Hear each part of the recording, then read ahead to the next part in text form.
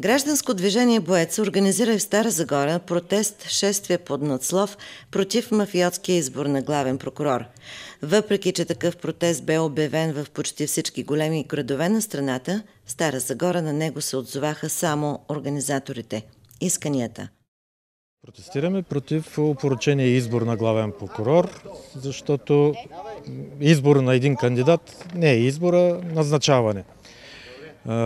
Настояваме за промяна на съдебната система, закона за съдебната система, защото за в момента предлагане, те се предлагат помежду си в затворената гилдия кандидати, а ние настояваме предложения да имат обществени организации, личности, партии, всеки един да може да предложи кандидат за главен прокурор.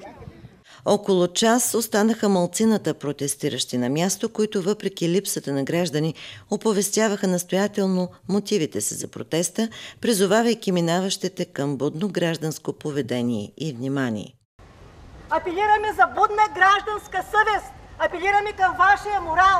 Моля, събудете се са граждани. Викаме към вас, защото не искаме да живеем в страна потиснати, обременени, не искаме да бъдем крадени, не искаме правосъдие.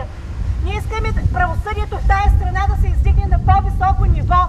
Искаме справедливи съдилища.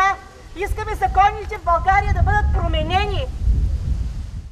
Липсата на самишленици в този час обаче не ги спря да проведат и плануваното си шествие по Строзагорските улици.